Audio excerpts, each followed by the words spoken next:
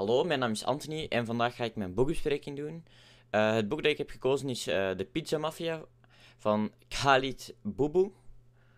Um, zoiets kom ik uh, erop terug van hoe, over wat dat boek gaat.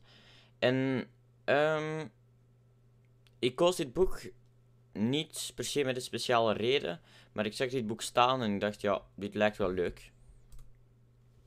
Eerst een kleine samenvatting. Uh, een van de hoofdpersonages is uh, Ziad. En hij wordt verkracht van verkrachting van een minderjarig meisje. En, um, maar Zaid uh, ontkende dat natuurlijk. En iedereen van zijn werk, hij werkt als pizza bezorger. En iedereen waar het hij mee samenwerken, zei: Ik geloof dat jij dat meisje niet hebt verkracht. Dus iedereen stond eigenlijk aan Ziad zijn kant. Maar heel veel mensen van de Mokro, die wilden Ziad een lesje leren. En waren dus op hem op, naar op zoek. Maar uiteindelijk werd het te gevaarlijk voor Ziad. En moest hij zich onderduiken of onderschuilen bij een kickboxschool. Technische gegevens. Uh, de auteur is Khalid Boubou. Het boek telt 221 pagina's. Uh, en het boek is gepubliceerd in 2019. Welke hoofdstukken wil ik eruit laten? Ik heb twee hoofdstukken gekozen die ik eruit wil laten, genaamd De wraak is te hard en De foto met de dragon tattoo. Uh, ik vind deze twee hoofdstukken minder belangrijk, want bij De wraak is te hard gaan ze eigenlijk een beetje denken van, ah, is het niet te hard wat we gaan doen bij hem, van die verkrachting? En de foto met de dragon tattoo gaan ze eigenlijk op zoek naar iemand met een tattoo. En ja. De personages. Een van de hoofdpersonages is Slipper. Hij is een pizzaboy. Hij houdt van lachgas. En hij heeft ADHD. De, auteur nee, de acteur die ik daarmee wil uh, koppelen is Will Smith. Waarom? Hij had ook ADHD en hij was vroeger ook in aanraking met de politie. Het volgende hoofdpersonage is Brahim. Hij is een neef van Haas, waar ik zo op terugkom. Hij is ook heel slim en hij was bij de CSI Mokro. De auteur, de acteur dat ik daarbij wil koppelen is Adil El Arbi. Ik vind dat hij redelijk goed kan acteren.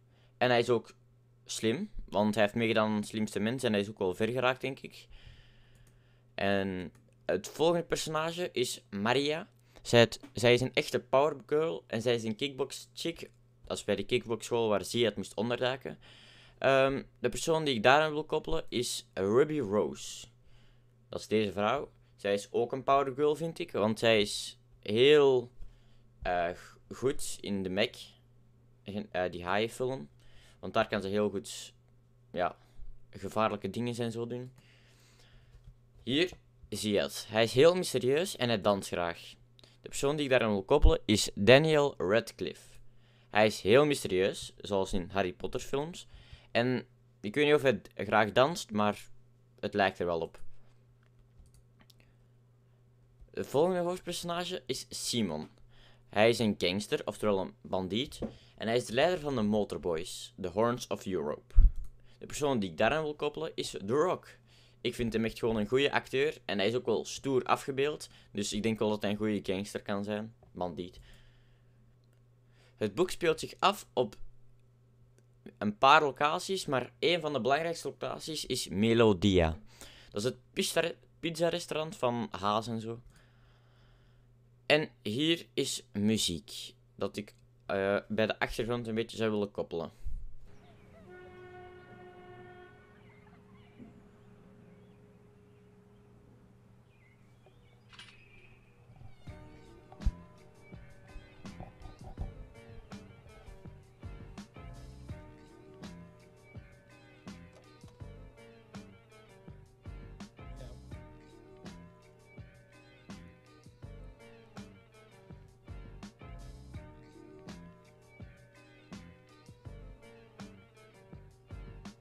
Just waking up in the morning, gotta thank God. I don't know, but today seems kinda odd. No barking from the dog, no smoke. And mama cooked the breakfast with no hog. I got my grub on, but didn't pig out. Finally got a call from a girl I wanna dig out. Hooked it up for later as I hit the dope. Thinking, will I live another 24? Dat was het liedje dat ik heb gekozen. Eh, ik vind het er redelijk goed bij passen, omdat je in dat filmpje ook wel een wapen zag. En ik vind wel dat dat een beetje wel past bij de CSI Mokro. De maffia toch? En ik weet niet waarom, maar het heeft zo een bepaalde vibe van die pizza maffia. Allee, niet die pizza maffia, maar in pizza restaurant. Ja, in mijn mening. Een nieuwe titel verzinnen. Niet altijd even makkelijk, maar eh, het, de oorspronkelijke titel was de Pizza Mafia. Maar ik heb besloten om het de Pizza Oorlog te noemen, want er is meer oorlog, allee, soort van oorlog, kleine conflictjes en zo, in plaats van echt een maffia. Want er is maar één maffia en dat is de eh, CSI Mokro Mafia. Dus daarom vind ik het wel beter dat het andere titel is. Dit was het einde van mijn presentatie. Eh, korte samenvatting. Eh, mijn boek is gewoon over. Het gaat over Ziad. Die wordt verdenkt van verkrachting en zo. En hij ging onderduiken. En ja. Eh, het boek is gewoon heel leuk om te lezen. Dus zeker le- lezen. En dan zie ik jullie bij mijn volgende boekbespreking. Als die er ooit nog komt. Dag.